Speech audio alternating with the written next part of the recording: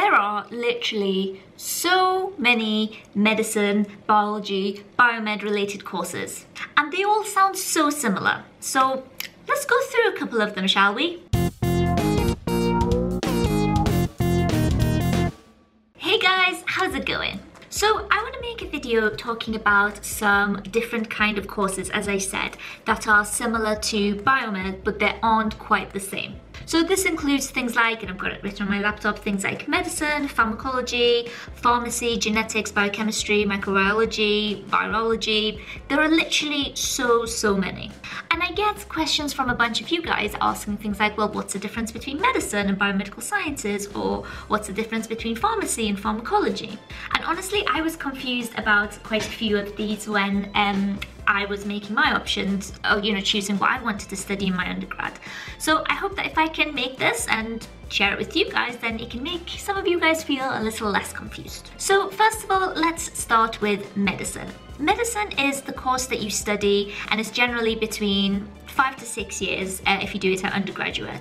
It's a course where you actually train to become a physician or a doctor. So as well as having the knowledge of the science and things like that, you will actually be qualified to treat patients. Biomedical sciences, on the other hand, as it says in the title, it is more based on the knowledge aspect of things and the science as opposed to the practice it generally tends to focus on how, you know, cells, tissues, organs, and systems work within the human body. This course is really, really interesting because it um, leads you towards routes where you can develop more understanding of human diseases and how they're caused and what we could possibly do to try and develop new treatments, etc., etc. So while this course doesn't necessarily provide medical training, it is absolutely crucial to medicine itself because without um, biomedical scientists doing either, for example, diagnostic testings in hospital and also doing the research aspect of things, doctors couldn't actually do their jobs. Now, another question I get quite a lot is, well, what's the difference between biology and biomedical sciences? And the main difference between that is that while biology does still involve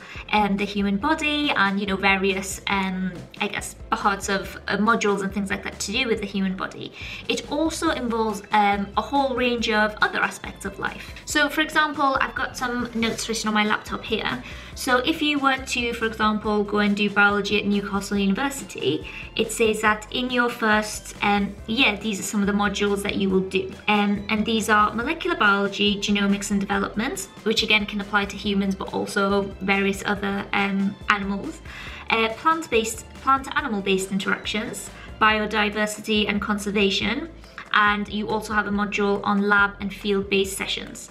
So I guess uh, the difference between um, this and biomedical sciences specifically is that when you do practical things in biomedical sciences, you typically tend to be in the lab, whereas with biology, you might go on a field trip and, I don't know, like measure plants or whatever it is that you're studying.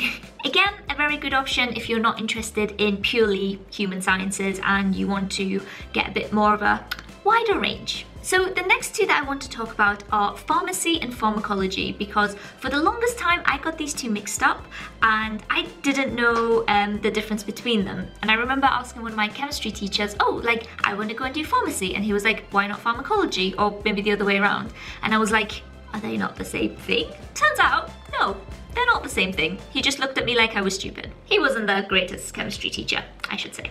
Anyway, so pharmacy tends to be an accredited degree and it is where you learn the sciences of pharmaceuticals as well as being able to practice pharmacy. The course is typically three to four years long and when you qualify as a pharmacist, you are able to, I guess, work in pharmacy. So if you've ever been to your local Boots or to any other pharmacies, the people who work behind the counter have had that kind of training and are able to dispense drugs. So basically to sum up, if you become, if you do this course and actually become registered as a pharmacist, then your job will be a pharmacist. Whereas pharmacology, on the other hand, it's more of a research area. And the whole premise behind pharmacology is learning how the body reacts to a drug and how the drug affects the body. Now, this is a really great area again if you are interested in research and you want to learn a bit more about, um, for example, how your body metabolizes drugs and how it brings about the effect and whether there are different ways to um, optimize drugs or whether there might be like adverse side effects of certain drugs. So while you will not be qualified to actually work as a pharmacist and dispense drugs, you will be involved in, you know, the research aspect of things.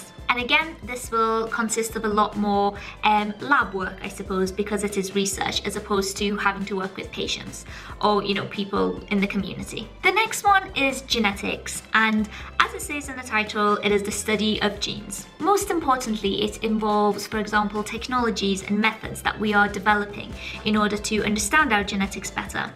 Because as you guys might know, or might not know, um, but as you guys may know, that our genetics plays a very big impact on certain phenotypes that we have in ourselves, including diseases. So by being able to understand genetic mechanisms and understand genetic expressions and learn about them, we might be able to see that, okay, well, a disease such as cancer, which doesn't have one specific cause, you can say, well, this person's genes might make them more susceptible to certain types of cancers. Again, studying this course will take you more down a research path and you will be able to get an opportunity to do lab work, um, data analysis and experimental design.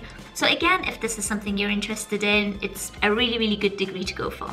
And one more thing I should say is that if you are somebody who, you know, enjoys data analysis and you enjoy, for example, um, biotechnology and bioinformatics, genetics is a very good route to go down because it has the potential to involve a lot of, um, as I said, bioinformatics because you will be looking at a lot of genes and trying to see if there are correlations between certain diseases and certain genetic expressions. Definitely not for everybody, but if you think you've got the mind for it, definitely look into it. The next thing is biochemistry.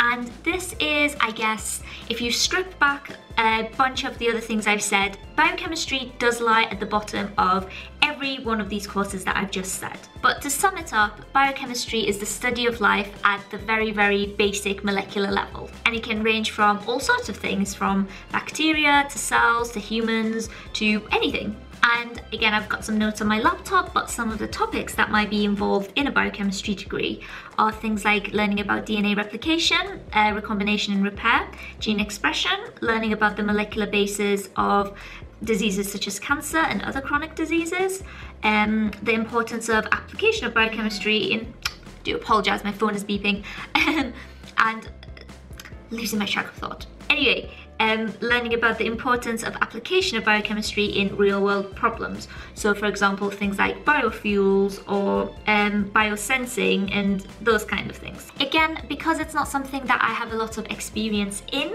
I can't necessarily tell you that much, but I will leave some links below. Although I think it is important to say that on the masters I'm doing now, which is cancer research, my um, supervisor is actually a professor of biochemistry, but the biochemistry she is involved in particularly is looking at sugar molecules on cells. So again, if you do enjoy chemistry, then this is a really great course because it allows you to combine your love of chemistry with things to do with life. Now, the next one is microbiology. And this is the study of pathogens and microbes that are able to cause diseases within the body. And I've said with the rest of the other modules, and I guess virology is the same except you're learning about viruses and the effects on the body, etc. Um, and again, this, similar to a lot of other courses, can lead you down a research path to try and figure out, you know, what microorganisms can cause different things and how we can prevent that, prevent like disease spread and things like that. I think it's important to note that generally a lot of the research ones that I've talked about, so things like pharmacology or genetics or microbiology and you know all of those kind of ones.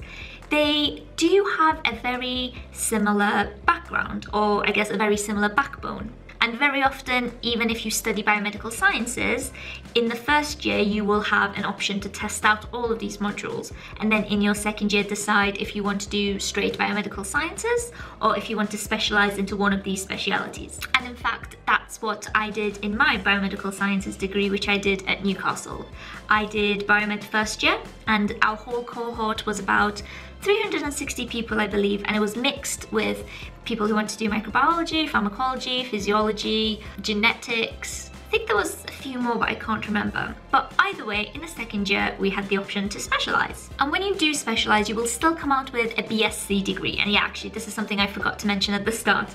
So with medicine, you get an actual, um, like a medical title. With the rest of these is BSc. Actually, I think with the exception of pharmacy, um, where your qualification is I think the qualification is at MPharm, or maybe that's the masters that you can get. Uh, I'll, I will leave some links below, but the majority of those, with the exception of medicine and possibly pharmacy, are BScs, which are Bachelors of Science. But yes, my lovelies, I hope that kind of clarified some more of that for you, because as I said, I remember being really confused myself. If you enjoyed this, please give it a thumbs up, and I will leave some links around if you want to either follow me on social media or support me. Overall, I hope you're all having an amazing day and until next time, take care and I'll see you later. Mwah.